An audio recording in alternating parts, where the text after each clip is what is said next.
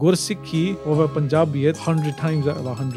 And that doesn't matter actually where we come from in the world. That doesn't matter what culture we come from. It doesn't matter if we're British, it doesn't matter if we're American, it doesn't matter if we're Canadian and we're a third generation and we've forgotten that we live in Punjabi and we're trying to now take aspects of that host culture. Sometimes what we do, we don't even take aspects of that host culture.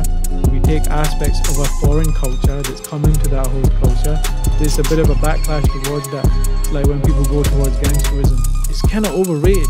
Look at Baba Deep Singh, look at Akali Phula Singh, look at all these soulmates, look at what's happening even in India now. Nihang Singhs are challenging riot police, they're challenging army, they're using their crossbows on shooting down drones. That doesn't get more gangster than that. It doesn't get more intense than that.